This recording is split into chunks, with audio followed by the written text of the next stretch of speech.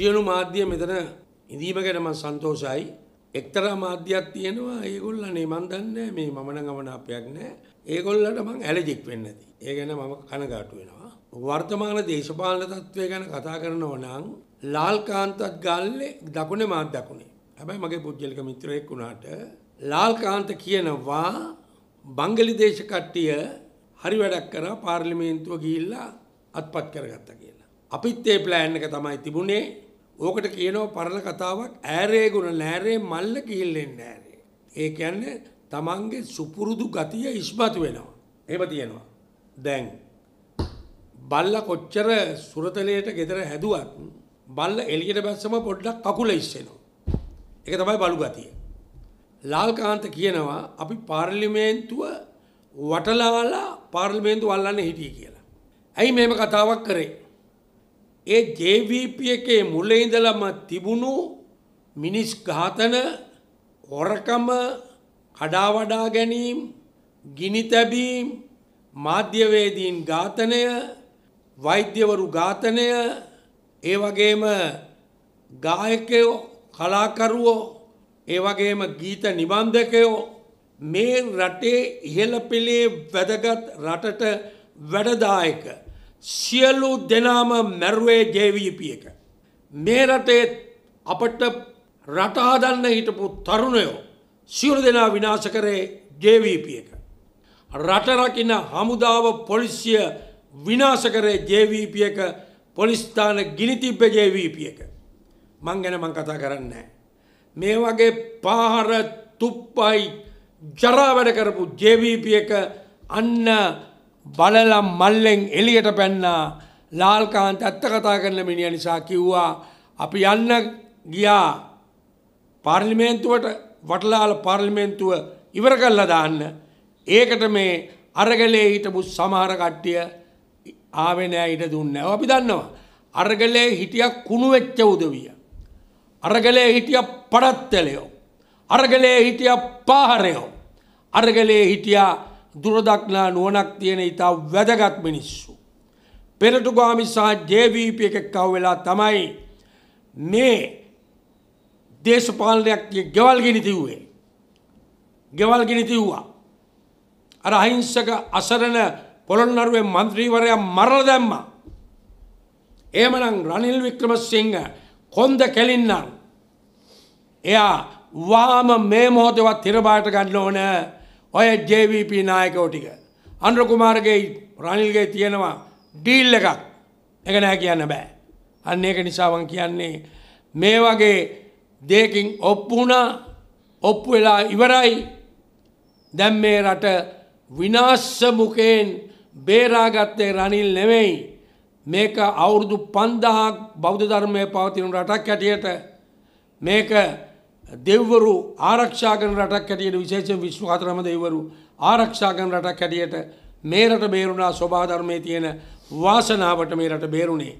නැත්තම් මේ ඔගොල දන්න රශියන් තෙල්නව ලංකාවට ගෙනල්ලා කාංචන විජේශයකන විශාල්ල මුදලක් ඒකෙන් ගරාගෙන ඉන්දියන් තෙල්නම ලංකාවෙන් ගොඩබානකොට ඒගොල්ල යෝජනා කරා රශියන් තෙල්නව ඉන්දියන් තෙල්නවට පම්ප් කල්ල ලංකාවට ගන්න. ඉන්දියාව අකමැති වුණා. මේකට කංචන විජේශයකර පගාවරගෙන තියෙනවා. නැත්තෙ නෑ. ඒ තෙල්නම බෑවනං තෙල්ලිංගයක් ඇතිවෙන්නේ. මේක හමුදාවත් රනිල් වික්‍රම සිංහත් වජර අභේවාදන ඇතුළු UNP එකේ මස්ථාන ටික සාගල ඇතුළු සියලු දෙනා එක්කව් වෙලා ගෝටාබේ රාජපක්ෂ එලවන්න ගාපු කුමන්ත්‍රණයක්. ඒ කුමන්ත්‍රණය තාමත් තියෙනවා.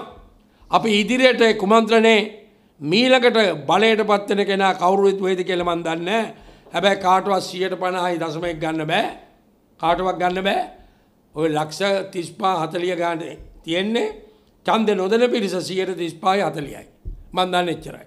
දැන් මේ මේ ඊයේ දවසේ ශ්‍රී ලංකා පොදුජන පෙරමුණේ ජනාධිපති අපේක්ෂකයා නම් කරා නාමල් රාජපක්ෂ හිටපු ඇමතිතුමා. ඔබතුමාගේ අදහස මොකක්ද? ඔය ඉස්සෙල්ලා අහන තිබුණ එක දැන් රනිල් වික්‍රමසිංහ මැතිතුමාට බෞද්ධ සේරම කට්ටිය ගියානේ. ඒක ඇහුවේ නෑනේ මගෙන්. ඒකට කියන්නේ බෑ ඉස්සෙල්ලා. බීඩු කොට සුරුට්ටු කොට සිකරට් කොට ඔය සියල්ලුම කොට කෑලි ටික රනිල් මහත්තය එක්කව කරගත්තා. හැබැයි රනිල් මහත්තය ඉතිහාසගත වන මිනිහා ඉස්සෙල්ලම ගෙව්ව සේනනායකලට. රුක්මන් සේනනායක ජාතික ලැස්ුවෙන් දාලා නම කැපුවා. අද එතුමා අසනීපේ.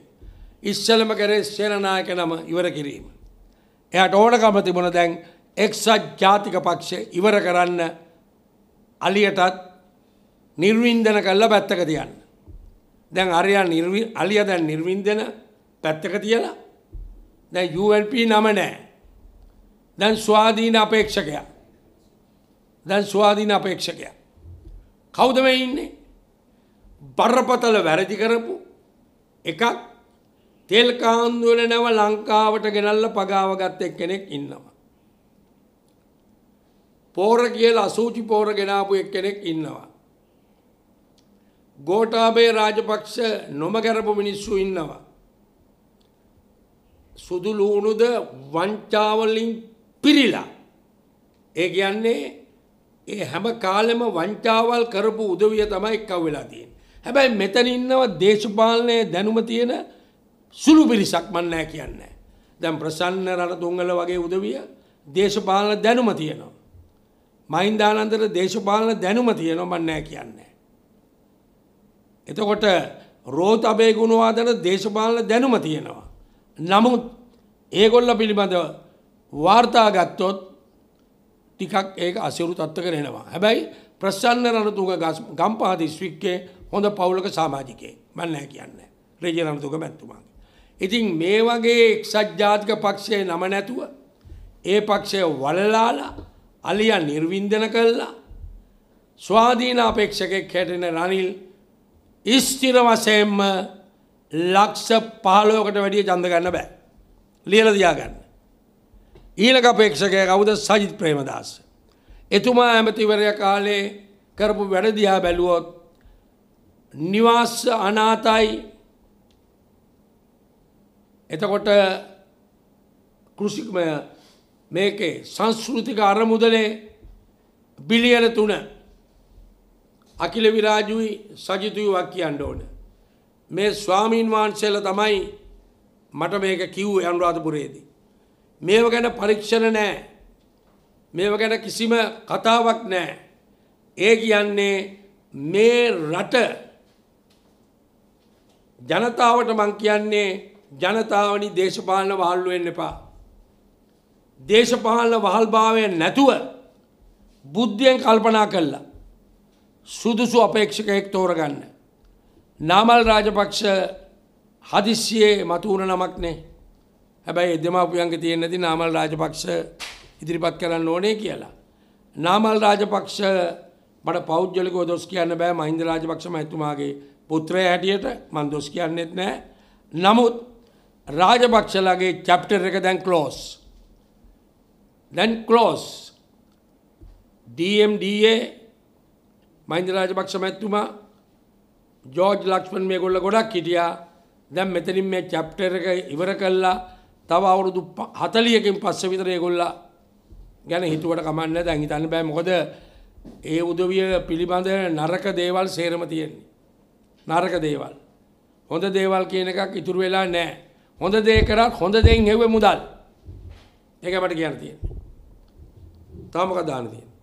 ඒ කියන්නේ එතුමා මේ මේ වෙලාවේ ජනාධිපතිවරණට ඉදිරිපත් වීම එතුමාගේ පැත්තෙන් සුදුසු නැද්ද මොකද නෑ ඉතින් මෙන්න මේක නේ දැන්. ඒක ළඟ වැඩි කියලා කියන්නේ. එහෙම එකක් නෑ දේශපාලනයට ළඟයි දුරයි කියන එකක් නෑ. දැන් එක එක්කෙනාගේ නම් ඔළුවේ තිබුණා. ඒ ඔළුවේ තියෙන නම් සා දාන හිටපු කට්ටිය ඉවත් වුණා. දැන් මේ තියෙන තත්ත්වය හැටියට. හැබැයි ඉතින් ওই පැත්තේ තවත් බුද්ධිය තියෙන මිනිස්සු ඉන්නවා. ওই පැත්තේ හිටපු හොඳ මිනිස්සු ටික රනිල් ළඟට නොගිය නම් ඔතන හිටිය ජනාධිපති අපේක්ෂකව වෙන සොසු කට්ටිය.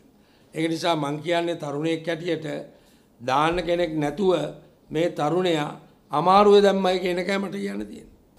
දැන් ඔබතුමාගේ මොකද්ද දේශපාලන තීන්දුව මේ දැන් ඇවිල්ලා දැන් පිරිසක් ප්‍රකාශ කරලා තියෙනවා මෙන්න මේ ආය ජනාධිපතිවරණයට ඉදිරිපත් වෙනවා කියලා. ඔව්. මර්වින් සිල්වා නිහඬයි. මම නියට නෑනේ මං පෞගිදස්සුලත් කිව්වා දැම් මේ අපේක්ෂකෝදයා බැලුවම ඔය දූෂණ විරෝධී පනත හරි ඔය හොරකමට වංචාවට වැටබැඳව පනත හරි අද මේ මැතිවරණ තියන්න සම්පූර්ණ පාර සකසල දුන්නේ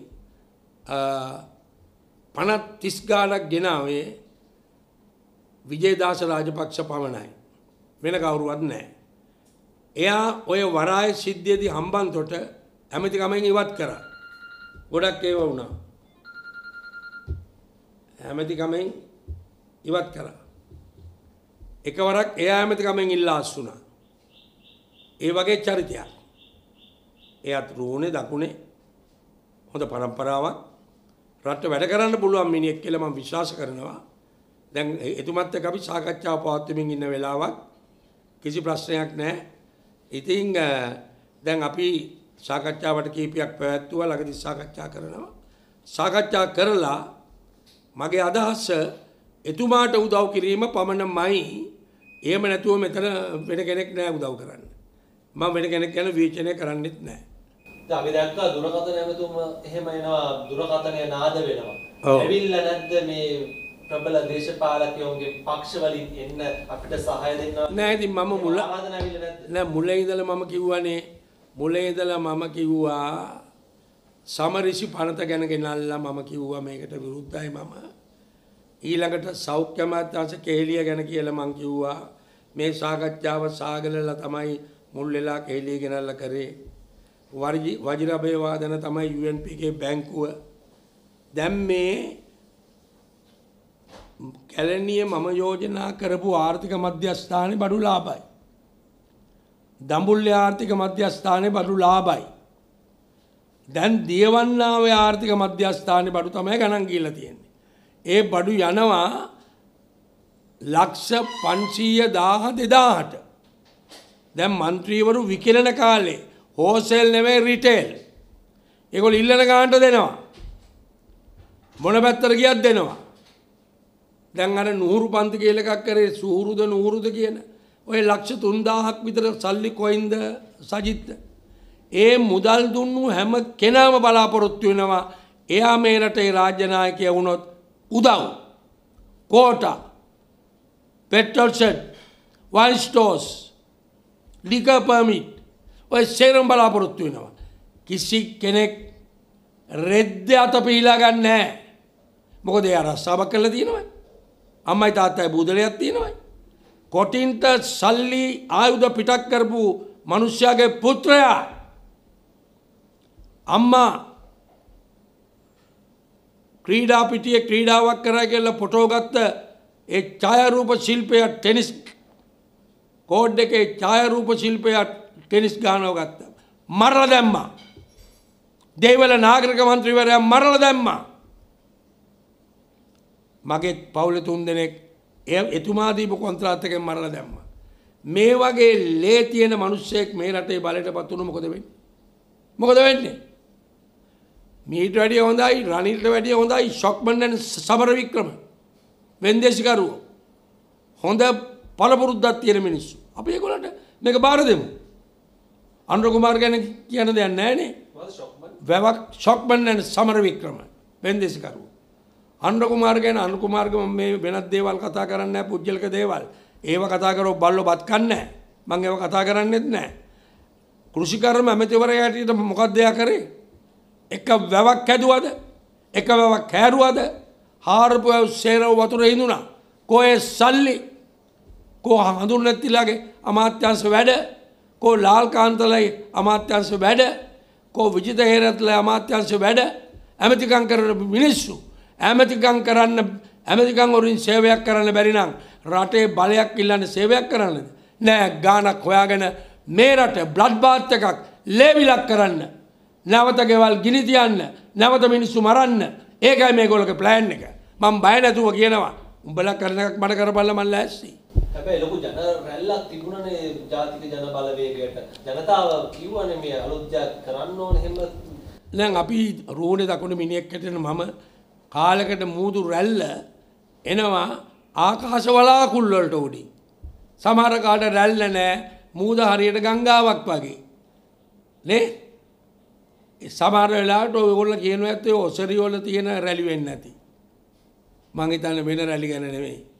එහෙම රැල්ලක් නැහැ. සල්ලි වේදම් කරන්න පුළුවන් නම් දැන් සජිත්ලා UNP එක අනුරලා තරඟට බස් වල මිනිස්සු ගේනවා තරඟට. බස් 200 300 පිරිලා සල්ලි කන්න බොන්න ඕන දෙයක් දෙනවා. මේම මිනිස්සු පුරව අපි දැක්කනේ සජිත්ගේ පළවෙනි පාර ගෝල් පේස් පිරෙව්වනේ. රාජපක්ෂල ගෝල් පේස් පිරෙව්වනේ. මොකද වුණේ.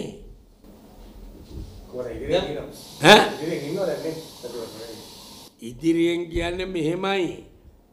හැමෝට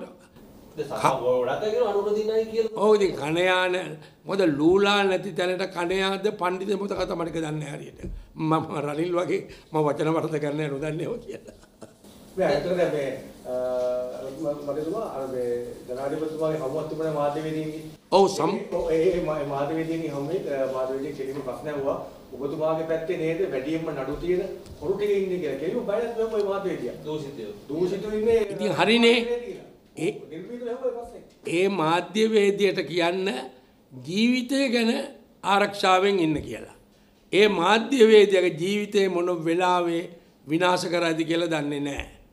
ඉතින් මම ඔකට දැම්මනේ සම්පූර්ණ අනිත් එක මං ඔය JP කාර්යෝ එනවයි කියලා මම දන්නේ නැහැ. හරිද? මම චමකටත් කෝල් කරලා කිව්වේ මම යනවා මේ මේම එකක් අර මේ මොකද්ද මේ රනිල්ගේ ඔය ප්‍රොවිස් සාකච්ඡාවල යුද්ධව මං ගිහලා ලියුමක් ඉදිරිපත් කරා.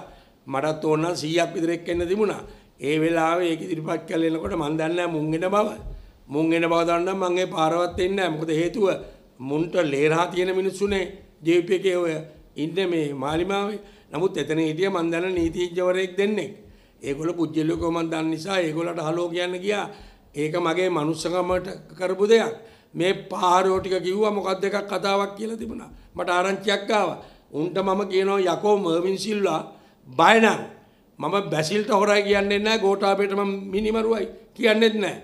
උඹලා මට මොන උඹලා මට මේ සපත් මගේ සපත්තුවේ යටිපල්ලේ යටි අඩිය තියෙන රබර් එක තරම්වත් වටින්නේ. උඹලා කවුද මට? උඹලා යන පාරේ මං යන්න බයද? උඹලා කියනවා උඹලා කියන ඕන තරකට මං එන්නම් දැන්. එච්චර කතාව. දැන් ඔබතුමා කතා කරන්නේ අපේ විවසායක දිලිත් ජයවීර මහත්මයා. එතුමත් ජනාධිපතිවරණයට ඉදිරිපත් වෙනවා. ඉතින් මං වාට කිව්වනේ මුදල් තියෙනවනම් මෙන්න මෙච්චර මම මේකක් විතරක් කියන්න. දැන් අපේ මේ මාධ්‍යවේදීන් ඉන්න මෙතන. ආගන්න. මං ඇතුළු හැමෝම අපි නීතියට බයයිනේ. අපි නීති රාමුවට යටයි. අපි අධිකරණයට යටයි. අධිකරණය ගණන් නොගත්ත රනිල් වික්‍රමසිංහයි දිනේශ් ගුණවර්ධනයි විතරයි. ඒවට දනුවන් ඉදිරියේදී හම්බෙයි. අධිකරණයේ උත්තරීතරයි. මේක කණු තුනක් තියෙනවා. විධායකයේ ව්‍යවස්ථාදායක අධිකරණය. නමුත් විධායක හෝ ව්‍යවස්ථාදායක වරදක් කරොත් අපිට යන්න තියෙන්නේ අධිකරණයට. අධිකරණ තීන්දුව නිවැරදිව දුන්නම මුන්ට රිදෙනවා. එතකොට අපි බයයි අපේ ආගම ධර්මයට අපි ගරු කිරීමක් තියෙනවා. ඕන ආගමකට අපි ගරු කිරීමක් තියෙනවා. අපි ස්වභාව ධර්මයට බයයි. අපි මනුස්සකම පෙන්වන්න ඕන මිනිස්සුන්ට. අමනුස්සකම පෙන්වුවොත් මිනිස්සු අපිට ගල් ගහයි. නමුත් මේ සේරම මේ නීති රාමුවටයි ධර්මයටයි අපි ආවරණය වෙලා ඉන්නේ. නමුත් අපේ මේ හදවත ඇතුළේ තියෙන කුහකත්වය, වෛරය, ක්‍රෝධය මේ හදවතුළ තියෙන යක්ෂයා මේ රාමුව නැතුව එළියට පැන්නොත් මොකද වෙන්නේ මේ යක්ෂයා? එළියට පැන්නොත් එක එක අයන කොටා ගන්නව මරා ගන්නව විනාශ කර ගන්නව. හැම එකාටම ඉන්නෝ මේ හදවත තුළ යක්ෂයෙක්, භූතයෙක්, ප්‍රේතයෙක් ඉන්නවා. අන්න ඒක නිසා මම කාටත් අවවාදයක් දෙනවා. අධිකරණයයි, ආගමයි, සෝබාධර්මයයි මේ රට පාලනය නැත්තම් මේක මිනිස් පවුලේ සමාජිකයෝ නෙමෙයි මේ උදුවේ යක්ෂ පවුලේ සමාජිකයෝ වෙන්නේ. අන්න ඒක නිසා හදවත තුළ ඉන්න යක්ෂයා වහගෙන පමණෙක් කියනව ඇවිල්ලා අනේ මට හරි දුකයි. දිරිත් කියන්නේ මට දුකයි මට දුකයි. එයාට දුක ඇතු නිය පෙරිදාද මගේ මිත්‍රයා. එයා ගැන මගේ ඉටඩියමක් කියන්නේ නැහැ. ඉතින් මේකනේ අන්තිමට එන්න මිනිස්සුත් ඉන්න ඕන රජයට ආදායමකුත් එන්න ඕන අපේ දිවුල් කෝර මානායක හාමුදුරුවෝ කිව්වේ. අර ගොනා යන හැටි. කිව්වනේ වැරදි ගොන්න පස්සෙක ඉල්ලා මස්කඩේට යන්න පැය කළ ම අවසාන වචන කියන පොමිසුද. දීප්ලව ඉන්න පිටිපස්සේ ඉන්න කට්ටියකට රතන හාමුදුරුවෝ කියන්නේ ඉන්න ඉන්න ඉන්න රතන හාමුදුරුවෝ කියන්නේ සිල්වත්කම නැති මයින්ද රාජපක්ෂට ගිහිල්ල බණ ධර්මය උගන්නන්න ගිහිල්ලා රතනරර කියලා මාලිගාවක් හදාගත්ත බෙලියත්තේ අපේ ගංගලට යා පැති පොඩි පන්සලක හිටවූ මනුස්සේ. සිල්වත්කමක් නෑ එයාගේ දැම් පින ඉවරයි. හාමුදුරුවෝ කියන කෙනාටත් පවසිද්ධ වෙනවා.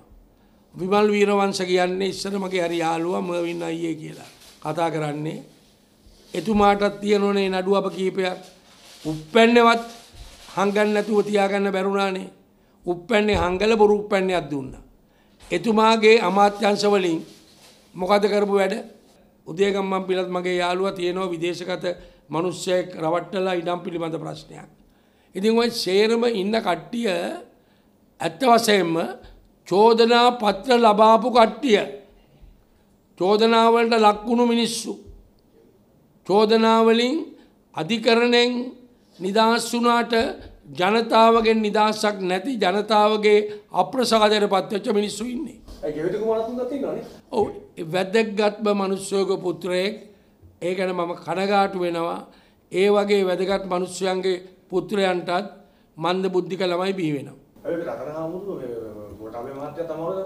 ගෝඨාභය විතරක් නෙවෙයි. එයාට හාමුදුරුවෝ කියල කියන්න එපා ළමයෝ ගිහි අපි හොඳයි. අපි ගිහිගෙයි අපේ බිනිදත් එක්ක ඉන්නවා.